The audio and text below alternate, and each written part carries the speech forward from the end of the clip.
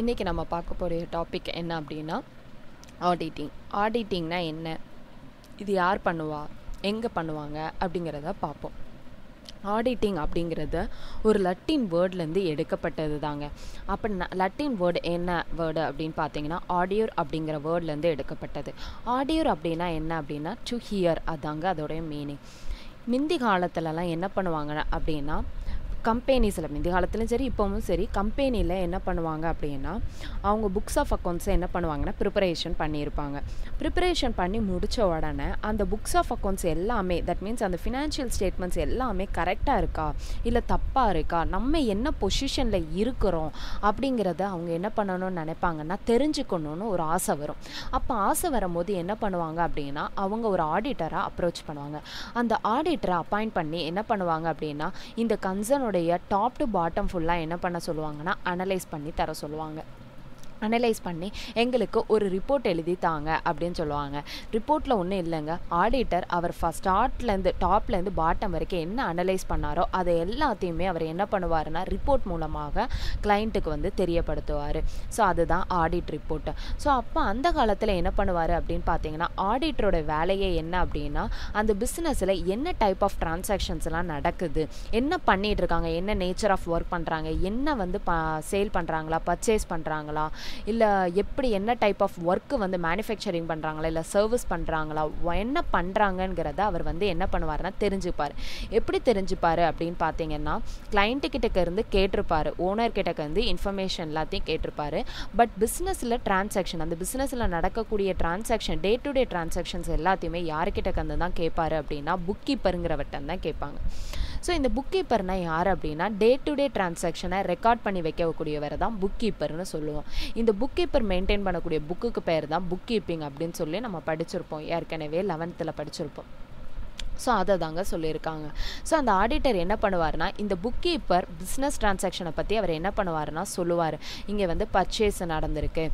Purchase வந்து நாங்கள் பத்தாயிரம் ரூபாய்க்கு பண்ணியிருக்கோம். சேல் பண்ணியிருக்கோம். இருபதாயிரம் ரூபாய்க்கு சேல் பண்ணியிருக்கோம்.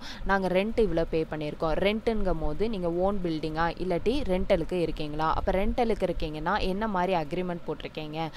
அப்படின்னு சொல்லி கேட்பாங்க. அதுக்கப்புறம் சேலரி எப்படி கொடுக்குறீங்க? யார் யாருக்கு என்ன கொடுக்குறீங்க?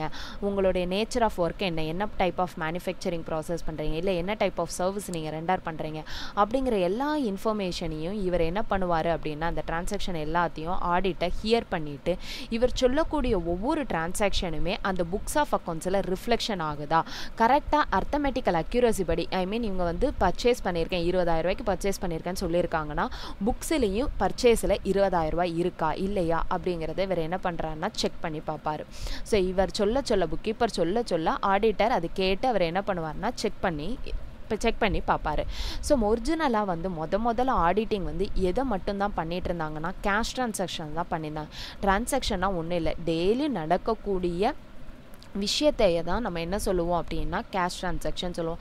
நம்ம இப்போம்லாம் நம்ம டெய்லி நம்ம வாழ்க்கையில் என்ன நடந்துச்சு அப்படிங்கிறத நம்ம என்ன பண்ணுவோம்னா டைரியில் எழுதுவோம். அப்படி தானே நமக்குன்னு ஒரு லைஃப் பர்சனல் டைரியிலே எழுதுவோம். அதே மாதிரி தாங்க எதுக்காக நம்ம எழுதி வைக்கிறோம்னா நம்ம வந்து டெய்லி இன்றைக்கி என்ன நடந்துச்சுங்கிறத இப்போ காலையில் என்ன நடந்துங்கிறத சாயங்காலம் கேட்டால் அப்படியா நடந்துச்சு அப்படிங்கிறத தான் கேட்போம். ஸோ மறந்துடுவோம் நம்ம.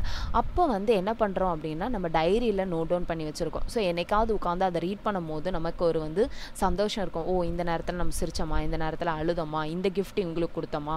ஸோ இவங்க நம்மளுக்கு இந்த கிஃப்ட்டு தந்தாங்களா? இந்த மாதிரி விஷயங்களை நம்ம என்ன பண்ணியிருப்போம்னா அந்த பர்சனல் டைரியில் எழுதி வச்சுருப்போம். அதே மாதிரி தாங்க கம்பெனிலையும் வந்து நிறைய டிரான்சாக்ஷன்ஸ் நடக்கும். நிறைய கேஷ் வெளியே போயிருக்கும். நிறைய கேஷ் உள்ளே வந்திருக்கும். நிறைய விஷயங்கள் வந்து என்ன பண்ணியிருப்போம் அப்படின்னா கடனுக்கு பொருளை விற்றுருப்போம் இல்லை கடனுக்கு பொருளை வாங்கியிருப்போம். நான் அப்போ நம்ம நிறைய பேருக்கு லோன் கொடுத்துருப்போம். இல்லை அட்வான்ஸாக நம்ம யார்ட்டையும் தான் ரிசீவ் பண்ணியிருப்போம். இந்த மாதிரி வந்து நடந்திருக்கிறது தாங்க நம்ம அப்படின்னு சொல்லுவோம் ஸோ இதெல்லாம் மறந்துடுவோம்னு சொல்லிட்டு தான் புக் கீப்பர் அப்பாயிண்ட் பண்ண வச்சு அவரை புக் கீப்பிங்கிறத ஒன்று ரெடி பண்ணி நம்ம ப்ரிப்பரேஷன் பண்ண சொல்லியிருக்கோம். ஸோ இவங்க ரெக்கார்ட் பண்ணக்கூடிய இந்த டிரான்சாக்ஷனில் ஒன்லி கேஷ் டிரான்சாக்ஷன்ஸை மட்டும்தான் என்ன பண்ணியிருந்தாங்க அப்படின்னா ஆடிட்டிங் பண்ணிட்டு இருந்தாங்க அப்போ கிரெடிட் ட்ரான்சாக்ஷன்ஸை என்ன பண்ணவே இல்லைன்னா ஆடிட்டிங் பண்ணவே இல்லை. அதுக்கப்புறம் என்ன ஆக ஆரம்பிச்சிச்சு அப்படின்னா இல்லை கேஷ் ட்ரான்சாக்ஷன் மட்டும் ஆடிட் பண்ணிட்டு இருந்தால் என்ன ப்ரோஜனம் ஸோ கிரெடிட்டையும் பண்ணணும் அப்படின்னு சொல்லி பண்ண ஆரம்பித்தாங்க பட் ஆனால் இப்போ பார்த்தீங்க அப்படின்னு பார்த்தீங்கன்னா நிறைய இப்போ வந்து என்னென்னா டிராஸ்டிக் சேஞ்சஸ் ஆக ஆரம்பிச்சிட்டு அப்படி தானாங்க முந்தி காலத்தில் மாதிரி யாருமே இந்த காலத்தில் கிடையாது. சாப்பாடாக இருக்கட்டும் புக்ஸ் ஆஃப் அக்கௌண்ட்ஸ் ப்ரிப்பரேஷனாக இருக்கட்டும் முந்திலாம் வந்து என்ன பண்ணுவாங்கன்னா புக் எல்லாமே கையிலேயே எழுதுவாங்க. புக் கீப்பர்லாம் வந்து அவர் டே டு டே டிரான்சாக்ஷன்ஸ் எல்லாத்தையுமே என்ன பண்ணுவாருன்னா புக்கில் போ நோட் வாங்கி அந்த நோட்டில் எழுதுவார். அப்புறம் அதுக்கு ஜேர்னல் போடுவார் ஒரு நோட்டில் அப்புறம் லெஜர் போடுவார். அப்புறம் பேலன்ஸ் ஷீட் ட்ரையல் பேலன்ஸ் இப்படி எல்லாமே வந்து ப்ராஃபிட் அண்ட் லாஸ் அக்கௌண்ட் எல்லாமே கையிலே எழுதிட்டு இருந்தான். ஆனால் இப்போ அப்படி கிடையாது. எல்லாமே இப்போ சிஸ்டமேட்டிக் சிஸ்டமாக மாற ஆரம்பிச்சிட்டு. அப்போ எல்லாமே மாற ஆரம்பித்தோன்னா ஆடிட்டிங்கோடைய ப்ராசஸும் டோட்டலி சேஞ்சஸ் ஆக ஆரம்பிச்சு ஆடிட்டிங்கிறது இப்போம்ல எல்லா இதுலேயுமே எல்லா கன்சர்னுமே பண்ண ஆரம்பிச்சிட்டாங்க. என்ன சின்ன கன்சர்ன் பெரிய கன்சர்ன் எல்லா கன்சர்னுமே என்ன பண்ண ஆரம்பிச்சிட்டாங்கன்னா பண்ண ஆரம்பிச்சிட்டாங்க. அதுக்கப்புறம் பார்த்தீங்கன்னா டைப்ஸ் ஆஃப் ஆடிட்டும் நிறைய பெருசாகவே என்ன செய்ய ஆரம்பிச்சிட்டுனா ஃபார்ம் ஆக ஆரம்பிச்சிட்டு. ஸோ ஆடிட்டிங்கிறோடைய ப்ராசஸ் வந்து பாஸ்ட்டை விட இப்போ கம்பேர் பண்ணும்போது நிறையவே சேஞ்சஸ் ஆகிட்டுங்க அப்படின்னு சொல்லுவாங்க டெக்னிக்ஸாக இருக்கட்டும் மெத்தட்ஸாக இருக்கட்டும் ப்ரொசீஜர்ஸாக இருக்கட்டும் நிறைய என்ன சேஞ்சஸ் ஆக ஆரம்பிச்சிட்டு. ஸோ நெக்ஸ்ட் நம்ம இப்போ என்ன பார்க்க போகிறோம் அப்படின்னா ஆடிட்டிங் வந்து ஸ்மால் சைஸ் ஆஃப் பிஸ்னஸ்க்கு தேவையில்லாதாங்க. ஆப்ஷனல் தான். ஆனால் பண்ணணும் பண்ணணும்னா பண்ணிக்கலாம். எதுக்காக ஸ்மால் சைஸ் ஆஃப் பிஸ்னஸ்க்கு வந்து நாட் நெசசரின்னு சொல்கிறாங்கன்னா ஆடிட்டர்னு ஒருத்தர் அவங்க அப்பாயிண்ட் பண்ணணும். இப்போ ஒரு வந்து ஃபார் எக்ஸாம்பிள் ஒரு கிராசரி ஷாப் கடையை எடுத்துக்கோங்களேன். சோல் ப்ரொப்ரேட்டர் செய்யக்கூடியது. அவர் வந்து அவருக்கு வந்து ஆடிட்டர் அப்பாயிண்ட் பண்ணி அதில் வந்து நம்மளுக்கு உண்மையான ஃபினான்ஷியல் பொசிஷன் என்ன நம்மளோட அசட்ஸ் என்ன லைபிலிட்டி என்ன அப்படிங்கிறத தெரிஞ்சுக்கணும்னு நினைக்கிறாருங்கிறது ச நல்ல விஷயம்தான். ஆனால் அவர் வந்து ஒரு ஆடிட்டர் அப்பாயிண்ட் பண்ணானா ஆடிட்டருக்கு சம்பளம் கொடுக்கணும். அப்புறம் நிறைய வந்து எக்ஸ்பென்சஸ் ஆகும். அப்போ அதெல்லாம் அவங்களால என்ன பண்ண முடியாதுன்னா பார்க்க முடியாது. முடியாது கொடுக்கவும் முடியாது. அதுக்காக தான் அங்கே ஆப்ஷனல் பண்ணணும்னா பண்ணிக்கலாம். அது அவங்களோட விஷயம் தான். தப்பெல்லாம் சொல்லவே இல்லை. ஸோ அது மூலமாக என்ன தெரிஞ்சுக்கலாம் அப்படின்னா அவங்களோட ஸ்ட்ரென்த் என்ன வீக்னஸ் என்ன ப்ராஃபிட் என்ன லாஸ் என்னங்கிறதும் தெரிஞ்சுக்கலாம். ஆனால் லார்ஜ் சேல் கன்சர்னை பொறுத்தவரை கண்டிப்பாக என்ன பண்ணுவாங்கன்னா ஆடிட்டிங் வந்து கம்பல்சரி தான். ஏன்னா நிறைய கேஷ் வந்து என்ன ஆகிட்டு இருக்குன்னா உள்ளே வருது போகுது. நிறைய அசட்ஸ் வாங்குதாங்க நிறைய லயபிலிட்டிஸ் இருக்குது ஸோ டேக்ஸ் வந்து கம்மியாக பே பண்ணிடக்கூடாதுலாங்க. அதனால கூட என்ன பண்ணணும்னு சொல்லியிருக்காங்கன்னா ஆடிட்டிங் வந்து கம்பல்சரின்னு சொல்லியிருக்காங்க.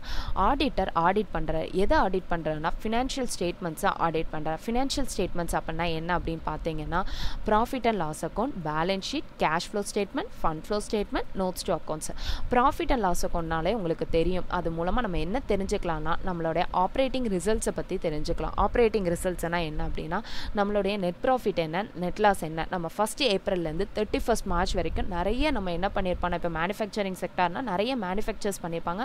நிறைய ப்ராடக்ட்டை சோல் பண்ணியிருக்காங்க. ஸோ அதனால நமக்கு லாபம் வந்திருக்கா? நஷ்டம் வந்திருக்கா? அந்த வருஷத்தில் அப்படிங்கிறத தெரிஞ்சுக்கணும். அவங்க profit and loss account prepare பண்ணணும். பேலன்ஸ் ஷீட்டுங்கிறது என்ன அப்படின்னா நம்ம எப்போ ப்ரிப்பேர் பண்ணுவோம்னா பர்டிகுலர் டேட் அன்னைக்கு தான் ப்ரிப்பேர் பண்ணுவோம். தேர்ட்டி ஃபஸ்ட் மார்ச் அன்னைக்கு ப்ரிப்பரேஷன் பண்ணுற அந்த பேலன்ஸ் ஷீட்டில் நம்மளுடைய ஸ்ட்ரென்த் என்ன வீக்னஸ் என்ன? அசட்ஸ் ஜாஸ்தியாக இருக்கா? லயபிலிட்டி ஜாஸ்தியாக இருக்கா? நம்ம சால்வன்சி பொசிஷனா இன்சால்வன்சி பொசிஷனாங்கிறத தெரிஞ்சுக்கலாம்.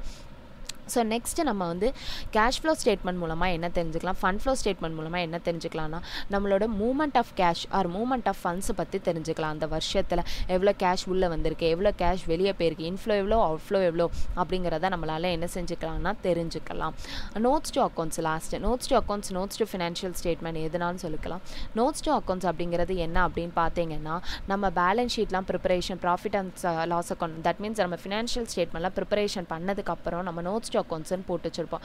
அதில் என்னெல்லாம் எழுதியிருப்போம்னா கண்டிஜன் லயபிலிட்டியை பற்றி எழுதியிருப்போம். அதுக்கப்புறம் என்ன டைப் ஆஃப் பிரின்சிபல் என்ன டைப்ஸ் ஆஃப் அசம்ஷன்ஸ் என்ன டைப்ஸ் ஆஃப் கான்செப்ட்ஸை நம்ம யூஸ் பண்ணியிருக்கோம் அப்படிங்கிறதெல்லாம் நம்ம நோட் டவுன் பண்ணி வைக்கிறது. அப்புறம் என்ன என்ன ஏஎஸை நம்ம ஃபாலோ பண்ணியிருக்கோம் அப்படிங்கிறதெல்லாம் நோட் பண்ணி வைக்கிறதாங்க நோட்ஸ் டு அக்கௌண்ட்ஸ் வேறு ஒன்றுமே கிடையாது. ஸோ இது எல்லாத்தையுமே ஆடிட்டர் ஆடிட் பண்ண போகிறார் எதை வச்சு ஆடிட் பண்ணுவார்னா with help of vouchers vouchers அப்படின்னா என்னென்னா நம்மளுடைய sales invoice purchase invoice cash memo purchase requisition slip இந்த மாதிரி பேங்க் ஸ்டேட்மெண்ட்ஸு இதெல்லாம் தான் நம்ம என்ன சொல்லுவோம் அப்படின்னா வவுச்சர்ஸ்னு சொல்லுவோம். இப்போ ஃபார் எக்ஸாம்பிள் இது ப்ராஃபிட் அண்ட் லாஸ் அக்கௌண்ட் இப்போ நம்ம trading account trading and profit and loss account தாங்க. ஸோ நம்ம இப்போ சேல் வந்து டூ தௌசண்ட் போட்டு வச்சுருக்கோம் அப்படின்னு பார்த்தீங்க அப்படின்னா அப்போது சேலுங்கிறதுக்கு உள்ள பில்லு ஐ மீன் நம்மளுக்கு கண்டிப்பாக என்ன பண்ணியிருப்பார் அப்படின்னா சப்ளையர் நமக்கு ஒரு பில்லு தந்திருப்பார். அந்த பில்லை தான் நம்ம வவுச்சர்னு சொல்லுவோம். அந்த பில்லில் இருக்கக்கூடிய அமௌண்ட்டும் ஓகேவாங்க அந்த பில்லில் இருக்கக்கூடிய அமௌண்ட்டு இப்போ நம்ம சேல் பண்ணியிருக்கோம். ஓகேவாங்க இப்போ நம்ம சேல் பண்ணியிருக்கோம் அப்படின்னா கண்டிப்பாக நம்ம என்ன பண்ணியிருப்போம் அப்படின்னா கஸ்டமருக்கு ஒரு பில்லு கொடுத்துருப்போமாங்க அந்த பில்லில் இருக்கக்கூடிய அமௌண்ட்டும் அதே மாதிரி ட்ரேடிங் அக்கௌண்ட்டில் ரிஃப்ளெக்ஷன் ஆகக்கூடிய சேல்ஸில் உள்ள அமௌண்ட்டு கரெக்டாக இருக்கா தப்பாக இருக்கா அப்படிங்கிறத ஆடிட்டர் என்ன பண்ணுவார்னா செக் பண்ணி பார்ப்பார். நெக்ஸ்ட் ஒன் என்னென்னா டாக்குமெண்ட்ஸ் டாக்குமெண்ட்ஸ்னால் அக்ரிமெண்ட்ஸ் ஏதாவது டீட் மாதிரி போட்டு வச்சுருந்தோம் அப்படின்னா எம்ஓஏ ஏஓஏ இந்த மாதிரி ஏதாவது ஒரு விஷயங்களை வந்து அவர் என்ன பண்ணுவார்னா ஆடிட் பண்ணி பார்ப்பாரு. ஸோ இப்போ எக்ஸாம்பிள் வந்து ரெண்ட்டுக்குனே வச்சுக்கோங்க. இப்போ நம்ம ஓன் பில்டிங்னா நோ ப்ராப்ளம் ரெண்ட்டே பே பண்ண வேண்டாம். இதே இது நம்ம வாடகைக்கு தான் எடுத்திருக்கோம் அப்படின்னா நம்ம கண்டிப்பாக என்ன பண்ணியிருப்போம் அப்படின்னா நம்ம வந்து அக்ரிமெண்ட் போட்டிருப்போம். அப்படி தானேங்க டெனண்ட்டும் லேண்ட்லார்டும் என்ன பண்ணியிருப்பாங்கன்னா அக்ரிமெண்ட் போட்டிருப்பாங்க. ஸோ அப்போ வந்து என்ன நடந்திருக்கும் அப்படின்னா அப்போ அவர்கிட்ட வந்து நம்ம ரெண்ட் வந்து இவ்வளோ தரோம். பத்தாயிரரூபா தரோம் மாதம் மாதம் அப்படின்னு சொல்லியிருப்போம் ஒரு வருஷத்துக்கு எனக்கு இந்த லேண்டை நீங்கள் தந்துருங்க அப்படின்னு சொல்லி சொல்லியிருப்போம் அப்போ வந்து என்னென்னா அந்த அக்ரிமெண்ட்டில் போட்டிருக்க பணம் நம்ம ஆக்சுவலாக பே பண்ணக்கூடிய அமௌண்ட்டும் ஒன்றா இருக்காங்கிறத செக் பண்ணி பார்ப்பாங்க. அது மட்டும் இல்லாமல் explanations received from client client கிட்டக்க இருந்தும் நம்மளுக்கு ஏதாவது ஃபினான்ஷியல் இன்ஃபர்மேஷனுக்கு ஃபினான்ஷியல் ஸ்டேட்மெண்ட்ஸ்க்கு தேவையான இன்ஃபர்மேஷன்ஸ் ஏதாவது இருந்துச்சுன்னா அதையும் நம்ம என்ன பண்ணிப்போம்னா ரிசீவ் பண்ணிப்போங்க. ஸோ இது எல்லாத்தையும் தான் ஆடிட்டர் ஆடிட் பண்ணுறார் ஸோ ஃபினான்ஷியல் ஸ்டேட்மெண்ட்டையும் ஆடிட் பண்ணிக்கிறாரு. சைமல்டேனியஸாக இதையும் என்ன பண்ணிக்கிறாருன்னா செக்கிங் பண்ணிக்கிறாரு. ஸோ நெக்ஸ்ட் என்ன பண்ணுறாரு அப்படின்னு பார்த்தீங்கன்னா நம்ம பார்க்க போகிறது என்னென்னா டெஃபினேஷன் பார்க்க போகிறோம் நிறைய டெஃபினேஷன் இருக்குது பட் நான் ஒரு பர்டிகுலர் டெஃபினேஷன் இந்த டெஃபினேஷன் மட்டும் எடுத்திருக்கேன். According to SA two hundred basic principle governing and audit SA அப்படின்னா ஒன்றும் இல்லைங்க. இப்போ நம்ம அக்கௌண்ட்ஸ் எல்லாம் ப்ரிப்பரேஷன் ஃபினான்ஷியல் ஸ்டேட்மெண்ட் ப்ரிப்பரேஷன் பண்ணுறோம்னா நம்ம வந்து ஏஎஸ் ஃபாலோ பண்ணுவோம். அக்கா அக்கௌண்டிங் ஸ்டாண்டர்ட்ஸை ஃபாலோ பண்ணுவோம். எஸ்ஏ எஸ்ஏ ஒன்று டூ த்ரீ ஃபோர் இப்படி நிறைய இருக்குது அதை நம்ம ஃபாலோ பண்ணுவோம். அதே மாதிரி தான் அதை வந்து அக்கௌண்டன்ட் ஃபாலோ பண்ணுவாங்க. யார் ஃபினான்ஷியல் ஸ்டேட்மெண்ட் ப்ரிப்பரேஷன் பண்ணுறாங்களோ அவங்க அதை ஃபாலோ பண்ணி தான் ப்ரிப்பேர் பண்ணுவாங்க. அதே மாதிரி தாங்க ஆடிட் பண்ணணும் அப்படின்னா ஆடிட்டர் அப்போ எதை ஃபாலோ பண்ணணும்னா எஸ்ஏவை ஃபாலோ பண்ணணும். ஸ்டாண்டர்ட்ஸ் ஆன் ஆடிட்டிங்கை ஃபாலோ பண்ணணும். இந்த ஸ்டாண்டர்ட்ஸ் அண்ட் ஆடிட்டிங் படி தான் இவருடைய ஒவ்வொரு மூமெண்ட்ஸுமே என்ன பண்ணப்படும்னா நடக்கப்படும் நடப்பார். ஸோ எஸ்ஏ டூ ஹண்ட்ரடில் basic principles governing and on auditor audit பண்ணும்போது என்னென்ன பிரின்சிபல்ஸ் எல்லாம் ஒரு ஆடிட்டர் பார்க்கணும் பண்ணணும் அப்படிங்கிறத நம்ம இப்போ பார்க்க போகிறோம் so and audit is independent examination of financial information of any entity whether profit oriented or not and irrespective of its size or legal form when such examination is conducted with a view to expressing and opinion thereon இது definitions ஓகேவாங்க இந்த டெஃபினேஷனை நம்ம first என்ன பண்ணலாம் ஃபுல்லாக தான் read பண்ணணும். ரீட் பண்ணிவிட்டு என்ன பண்ணணும் அப்படின்னா கண்டிப்பாக நம்மளுக்கு இதுலேருந்து டக்குன்னு புரிஞ்சுக்கிட முடியாது. ஸோ அப்போ என்ன பண்ணால் ஒரு ஈஸி மெத்தட் இருக்குது என்ன பண்ணலாம் அப்படின்னா கொடுத்துருக்க டெஃபினேஷனை உங்களால் எங்கெங்கே பிரேக் பண்ணி பிரேக் பண்ணி புரிஞ்சுக்கிட முடியுமோ அங்கங்கே பிரேக் பண்ணிக்கோங்க. நாலு வேர்டை பிரேக் பண்ணுங்கள் இல்லை ஆறு வேர்டை பிரேக் பண்ணுங்கள் ஸோ இந்த மாதிரி எப்படி உங்களுக்கு கன்வீனியண்ட்டாக இருக்கோ அப்படி பிரேக் பண்ணிவிட்டு ஃபஸ்ட் இப்போ நம்ம ஃபஸ்ட்டு பிரேக் பண்ணதை புரிஞ்சுட்டோம். ஸோ செகண்ட் ப்ரே அடுத்த லைனுக்கு நம்ம போய் நம்ம படிக்கிறோம் அப்படின்னா ஃபஸ்ட்டையும் செகண்டையும் ஜாயின் பண்ணிவிட்டு அதுக்கப்புறம் ஒன் செகண்ட் திருப்பி சொல்லி பாருங்கள் அந்த கோர்வையாக சொல்லி பார்த்தீங்கன்னா கண்டிப்பாக இப்படி ஒன்று ஒன்றா பண்ணிங்கன்னா கண்டிப்பாக அந்த டெஃபினேஷன் ஈஸியாகவும் மண்டையில் ஏறிடும் ஈஸியாக புரிஞ்சுக்கணும். ஸோ நானும் அதான் பண்ண போகிறேன் and audit is independent examination first என்ன சொல்லியிருக்காங்கன்னா ஆடிட் யார் பண்ண போகிறா ஆடிட்டர் பண்ண போகிறார் அப்போ அந்த ஆடிட்டர் ஆடிட் பண்ணும்போது என்ன பண்ணணும் அப்படின்னு சொல்லாங்கன்னா இண்டிபெண்ட் எக்ஸாமினேஷன் பண்ணணும்னு சொல்லுவாங்க. இண்டிபெண்ட் எக்ஸாமினேஷன் அப்படின்னா என்ன அப்படின்னா ஆடிட்டர் வந்து யாரோடைய யாரையும் டிபெண்ட் பண்ணி அவரை எக்ஸாமின் பண்ணக்கூடாது. இப்போ வந்து ஃபார் எக்ஸாம்பிள் நம்ம வந்து சேல் பண்ணியிருக்கோம். ஒரு ஐம்பதாயிரம் ரூபாய்க்கு சேல் பண்ணியிருக்கோம். ஆனால் நம்மளுடைய பில்லில் என்ன பண்ணியிருக்கோம் அப்படின்னு பார்த்தீங்கன்னா குறைச்சி காட்டியிருக்கோம். இருக்கும். ஸ்டாக் வந்து நிறைய வெளியே போயிருக்கு. ஆனால் பில்லில் குறைச்சி காட்டியிருக்கும். விற்றதை குறைச்சி காட்டியிருக்கும். ஸோ அப்போ வந்து இதை ஆடிட்டர் கண்டுபிடிச்சிட்டாரு. அப்போ ஆடிட்டர் கண்டுபிடிச்சோன்னா கிளை புக்ஸ் ஆஃப் அக்கௌண்ட்ஸ் மெயின்டைன் பண்ணவர்கிட்ட கேட்குறாரு ஓனரே வச்சுக்கோங்களேன். ஓனர்கிட்ட கேட்குறாரு ஓனர் ஓனர் சொல்கிறாரு நீங்கள் கண்டுக்கிடாதீங்க சார். அப்படியே விட்டுருங்க. நீங்கள் வந்து கொஞ்சம் குறைச்சி அப்படியே இருக்க மாதிரியே காட்டிடுங்க எங்களுக்கு வந்து கொஞ்சம் ப்ராஃபிட்டை நீங்கள் வந்து கம்மியாக காட்டினா தான் நாங்கள் டேக்ஸ் வந்து கம்மியாக பே பண்ணலாம். ஸோ நீங்கள் இப்படி காட்டுங்க அப்படின்னு சொல்லி சொல்கிறாரு ஒன்றா ஓகே கிளைண்ட் வந்து சரி சரி. நமக்கு இவங்க கமிஷன் தராங்கல்ல. சேலரியும் இங்கே தராங்க நம்மளுக்கு. ப்ளஸ் இதுவும் வேறு தராங்கல்ல. அப்போ நம்ம இதை பண்ணுவோம் அப்படின்னு சொல்லிட்டு பண்ணலாமான்னா பண்ணக்கூடாது. ஸோ எப்போவுமே ஒரு ஆடிட்டர் வந்து எப்படி இருக்குன்னா இண்டிபெண்ட்டாக எக்ஸாமினேஷன் பண்ணணும்.